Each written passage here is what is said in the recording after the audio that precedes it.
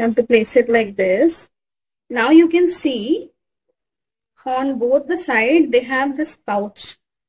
This pouch, this pouch, this, this pouch, this pouch, this cheeks, cheeks are there. We have to take the syringe and with the closed mouth, take the syringe and you have to put the syringe into the side.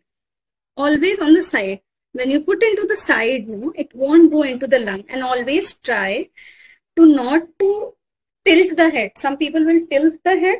So directly it will go into the lung. Don't tilt the head. Always by your uh, this, try to put their mouth down and slowly, slowly. For example, it's 2.5 mm.